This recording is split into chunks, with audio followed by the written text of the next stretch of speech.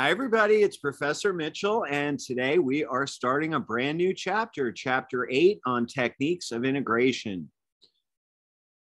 So, this first section, 8.1, uh, I just realized I don't have a title slide for the section, but it's basically just review of uh, integration techniques that we already know, uh, of which there are not very many you know a bunch of formulas, most of the ones that you're looking at here.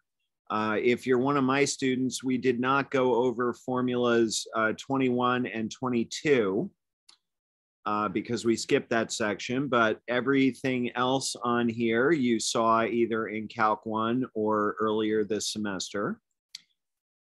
And of course, you know about integration by substitution, but so far those are really the only uh, integration tricks you, you know. So throughout this chapter, we're going to be adding to that list. You're going to learn a whole bunch more integration tricks. Uh, but this section 8.1 is really just review. So the first thing I want to tell you is that if you are one of my students, uh, I am planning to make this slide that you're looking at into a handout in case you'd like to print it and uh, keep it for reference. And then you've heard me mention in previous videos something that I call baby U substitution. Baby U substitution is a Mitchell term, uh, and it refers to a very specific uh, integration shortcut. And uh, he here is how I would sort of formally state it. If the integral of f of x with respect to x is equal to capital F of x plus c, in other words, capital F of x is an antiderivative for little f of x, uh, and a does not equal zero. Then the integral of f at a times x with respect to x is 1 over a times capital F at ax plus c. So let me show you an example of what I'm talking about because that looks kind of uh, technical. Get over to my tablet here. So the, uh, the example that I was planning to use is integral sine 4x dx. Now, whenever an integral like this came up um, throughout chapter seven, for example, I actually wrote out the substitution, let u equal 4x, then du is equal to 4 times dx. Um, but now I think this is the perfect time for me to officially show you baby U substitution. And then whenever an integral like that comes up in the future, I'm going to uh, do it very fast. So the idea behind baby U substitution is that uh, the antiderivative for sine is negative cosine. So you can just say that this is negative cosine. Uh, actually, let me I'm going to put this negative sign over here. Negative cosine of 4x. So um, baby U substitution is kind of like a reverse chain rule. The idea is that if you differentiated cosine 4x, a 4 would pop out. Well, when you're integrating, you just make that a 1 fourth. And that's it. So the integral of sine 4x with respect to x is negative 1 fourth cosine 4x plus c. Uh, if you want to convince yourself that that's correct, well, then just go ahead and write out the, the regular, um, you know, U substitution. But please just know that from now on, whenever I run into this kind of integral, uh, I am just going to use the shortcut and I will always refer to baby U substitution whenever I do that.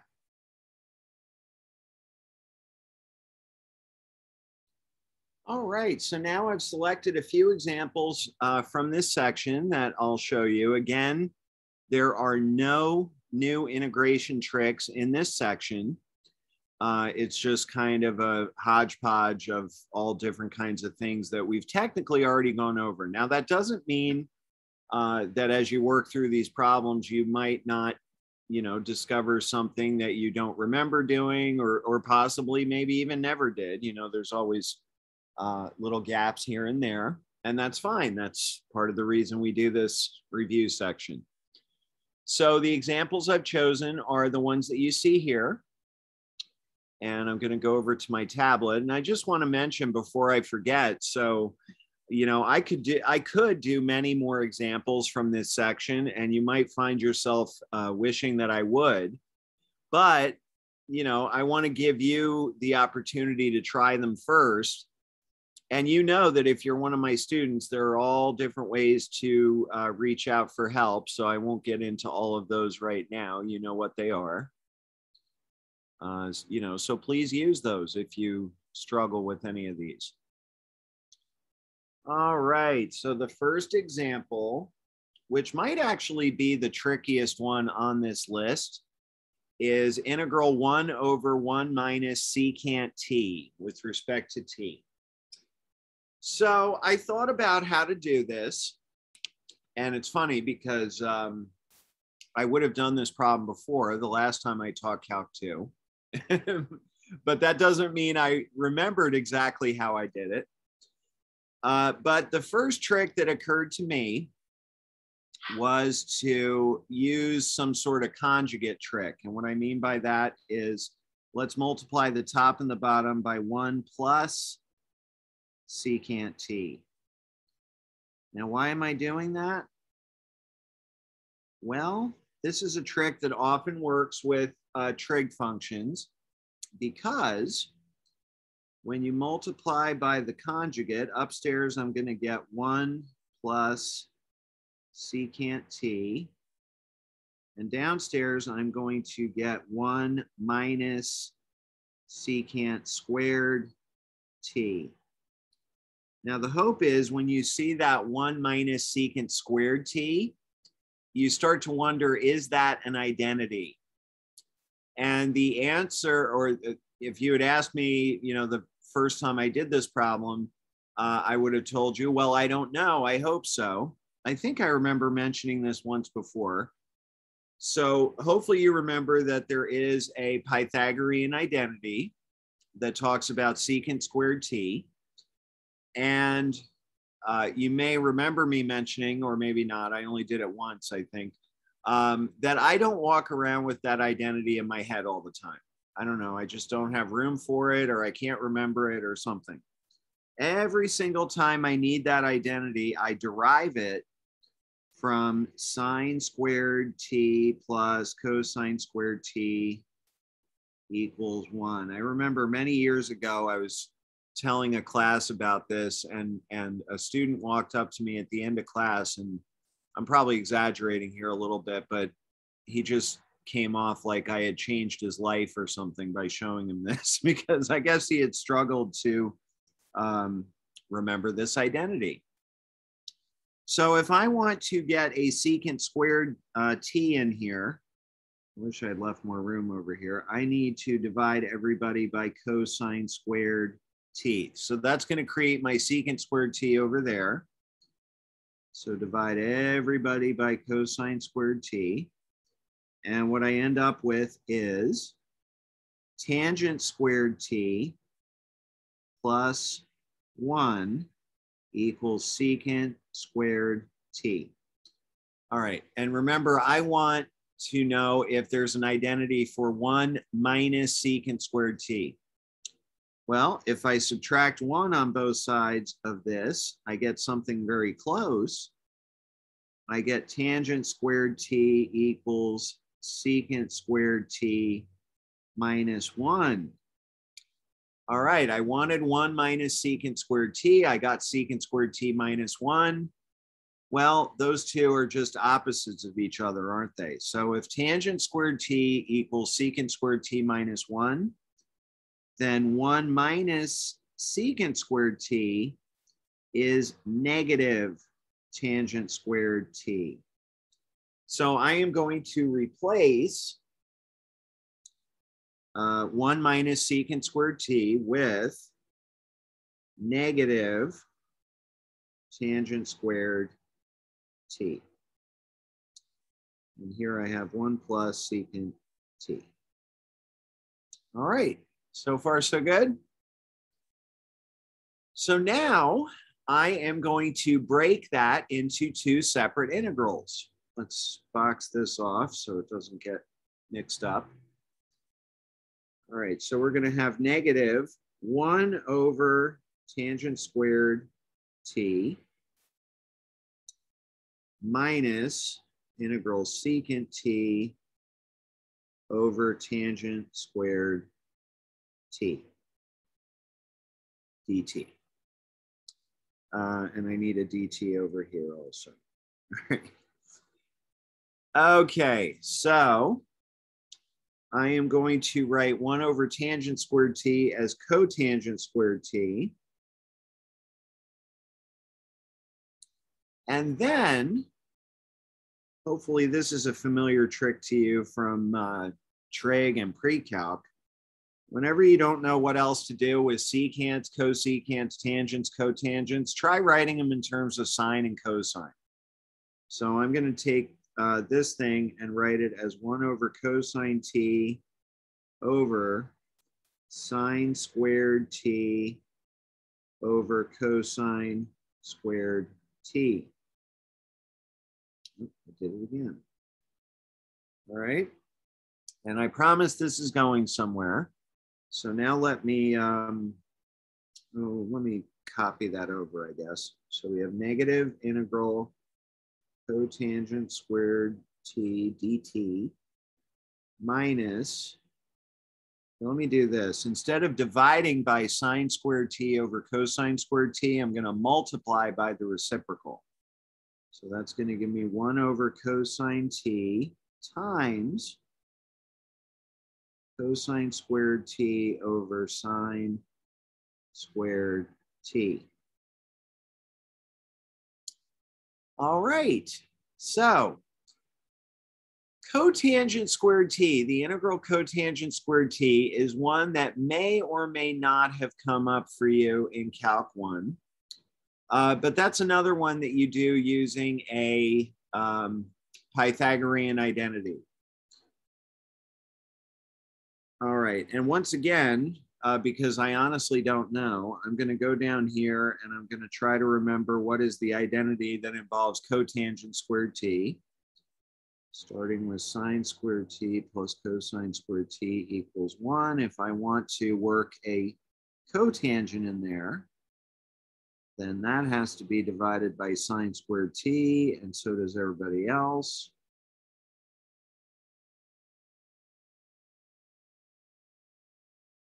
All right, so that gives me 1 plus cotangent squared t equals cosecant squared t. In other words, I should replace cotangent squared t with cosecant squared t minus 1. All right, and hopefully you'll understand why it's helpful to make that replacement. It's because I know the integral of cotangent squared t, right? That's one that's on my list. Minus one here. And then if I go ahead and pretty this up, uh, we can get rid of one of these with this. And that is going to leave me with integral cosine t over sine squared t all right, here we go. We're almost there. Okay, so the integral of cosecant squared t is almost like doing the integral of secant squared t. The integral of secant squared t is tangent t. The integral of cosecant squared t is negative cotangent t. All right, so that's going, let's just do this. So we got the negative outside and then I've got a negative here. And then of course the integral of minus one is minus t. And we'll clean that up later. Now, what integration trick do you suppose I should use for integral cosine t over sine squared t? Well, that's just going to be a substitution. Look what happens if I let u equal sine t then du becomes cosine t dt. And that is perfect. So this is going to be minus integral du over u squared, which is definitely a calc 1 integral. So we have cotangent t plus t, and then the integral of u to the negative 2 du by the backwards power rule, which I happen to notice on your list of integration formulas was number two.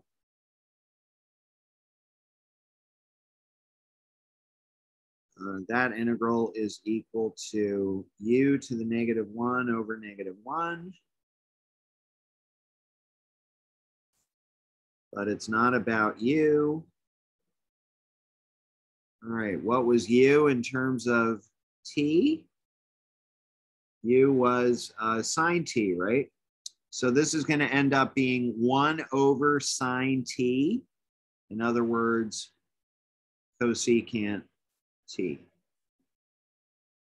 And don't forget the plus c or else no points. Just kidding. All right. By the way, I thought it might be worth mentioning. So I was kind of curious how a certain uh, website would uh, do this integral. So I plugged it in there and it did it a completely different way. Uh, it did it a way that I never would have thought of.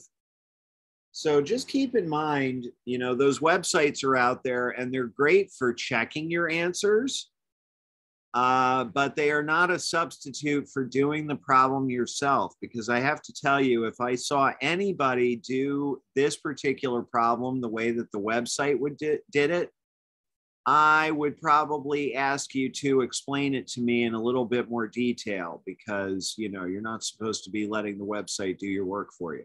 All right. So hopefully you understand what I'm saying there. All right. Again, probably the hardest problem on the list just happened to be first. That's, I think, the order that they appeared in the textbook. All right. Well, this one's a little better integral 1 over the square root of 2 theta minus theta squared with respect to theta. We did a problem kind of like this back in a certain section of chapter 7. Hopefully this problem reminds you a little bit of your inverse trig integrals. All right. Um, and this is one of those where you have to complete the square. Okay, so let me um, go off to the side and talk about 2 theta minus theta squared. I'm going to have to complete the square on that. So first of all, 2 theta minus theta squared is the opposite of theta squared minus 2 theta. And now that's the thing that I have to complete the square on. So remember how that works? You take the linear coefficient, which is a negative 2. Negative 2 divided by 2 is negative 1. The square of negative 1 is 1. So in order to make this a perfect square, I need a plus 1 inside those parentheses. Now I'm going to do something uh, that might make you scratch your head for just a second. Remember that you can't just go around adding one to an expression because that gives you a new expression. You have to make up for it somehow. Well, I claim that the way you make up for it is to put a plus one over here. But Mitchell, why is it a plus one? Why isn't it a minus one? Well, it's because of this minus sign out here right? That minus sign outside really makes this plus one. It's actually a minus one. So putting a plus one all the way out here uh, makes up for that. It balances it out. Okay, so what this is telling me is that I should replace 2 theta minus theta squared with 1 minus the quantity theta squared minus 2 theta plus 1, which is 1 minus the square of theta minus 1. All right, and now the problem becomes very easy. This is integral d theta over the square root of 1 minus the square of theta minus 1. If you really wanted to, you could write this up as a substitution, but it's really not necessary. Um, so this is going to be, and I'm sorry to say, I don't, wait, you know what? Yes, I do. Give me just a second. I was going to say I don't have that list of formulas in front of me, but it just so happens I have my textbook within reach. Okay, so if you've got the list of formulas in front of you, I am going to be using formula number 18. And that's the one that talks about the, uh, the, um, the inverse sine integral. Uh, so this is just going to be the inverse sine of theta minus 1 plus c. That's it. By formula number 18. Again, you could write it up as a substitution. You could let u equal theta minus 1, uh, but then du would just be d theta. All right, so there's really no point. It's it's kind of like a baby u substitution, I guess. All right, that's the end of it. All right, I think that one was definitely a lot easier than letter A. And then we come to this one. So this is a trick that uh, you should definitely know. We are going to be doing more integrals that kind of look like this when we get to the section on um, partial fractions, integration by partial fractions. In the meantime, what I need to tell you about uh, integrating a polynomial over a polynomial is check the degrees of the two polynomials. And if the uh, degree upstairs is not strictly less than the degree downstairs, then you need to start with everybody's favorite thing, which is polynomial long division. All right. Uh, so this is degree three. This is degree one. Since degree three is greater than or equal to degree one, start with long division. All right, you remember doing that in uh, pre-calc, for example? 2 theta minus 5 into 2 theta cubed minus 7 theta squared. I think it's kind of funny they chose theta for this variable, but whatever. Okay, here we go. 2 theta into 2 theta cubed goes theta squared. Uh, and by the way, I have a um, pre-calc video on polynomial long division. If you would like me to make that available to you, just ask and I'll uh, show you where it is. Theta squared times 2 theta is 2 theta cubed. Theta squared times minus 5 is minus 5 theta squared subtract the whole thing. Uh, those two cancel. Negative 7 theta squared plus 5 theta squared is negative 2 theta squared. Bring down 7 theta. And lather, rinse, repeat. 2 theta into negative 2 theta squared is minus theta. Minus theta times 2 theta is minus 2 theta squared minus theta times minus 5 is plus 5 theta. Subtract the whole thing.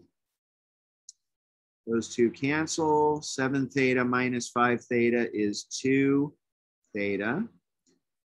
Uh, and you know what? Since I'm missing a constant term in my dividend, let me just stick a plus 0 here. might help me keep track of things. And I have to do one more go with the uh, long division. So 2 theta into 2 theta goes one time. 1 times 2 theta is 2 theta. 1 times minus 5 is minus 5. Subtract the whole thing. And the remainder is 5. So what does that mean? It means that integral 2 theta cubed minus 7 theta squared plus 7 theta. I hope I have my signs right. Over 2 theta minus 5 should be rewritten as my quotient, which is theta squared minus theta plus 1, plus my remainder over my divisor. My remainder was 5, right? So this is going to be plus 5 over 2 theta minus 5. All right. So look at that for a second, and hopefully you can agree that that is a, a much simpler integral.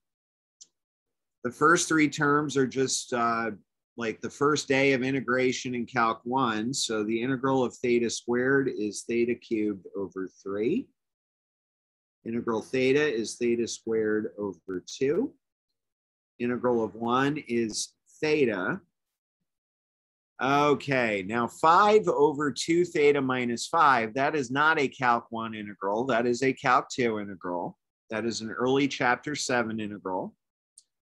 Uh, and it is actually an example of baby u substitution. So uh, the way I'm going to do this is, first of all, I'm just going to put the 5 there. And then uh, if this was 1 over 2 theta minus 5, I would just do natural log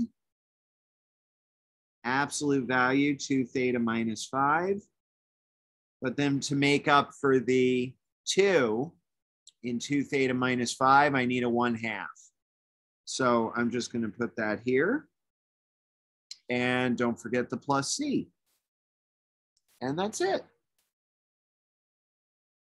Again, if, you, if I lost you right here, it is a baby u sub try writing it out, starting with let u equal 2 theta minus 5. All right, so once again, I could do many more examples from this section, but I, I picked those three because I think they cover a broad range of tricks. Uh, there will be other tricks that come up in the homework. Um, and again, if you're one of my students, you know all the different ways to reach out for help. So that's going to do it for section 8.1, and we'll see you next time.